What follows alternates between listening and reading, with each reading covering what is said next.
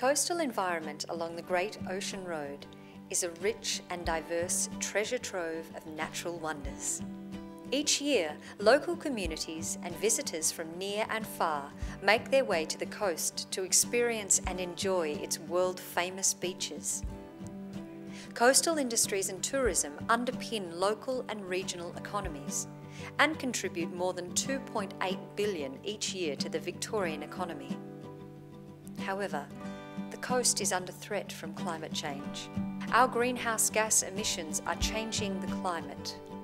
Climate change will lead to rising sea levels, more frequent and intense storms, bushfire and floods, increased temperatures and changed rainfall patterns. There is a high risk that climate change will noticeably diminish the health of the coast. We all need to reduce our greenhouse gas emissions as individuals, businesses, organisations and communities. We all need to look after the coast. A healthy coast will be more resilient to the impacts of climate change. Next time you visit the coast, please respect the natural environment. By working together, we can all make a difference. Our coast is a natural beauty.